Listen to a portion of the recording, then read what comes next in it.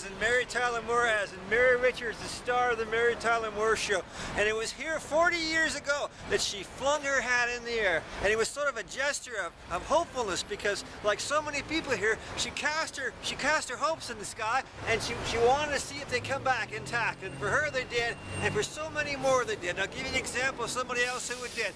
A young kid in grade 7, he moves to this area. He's stuck with nine siblings in one house. He's going out of his mind. Someone turns the television on. It's the state hockey championships. And the kid sees all the glamour and all the noise and all the pageantry. And he decides at that moment that this is where he is going to cast his hat. This is where the future is going to find him. And the kid's name was Brian Burke.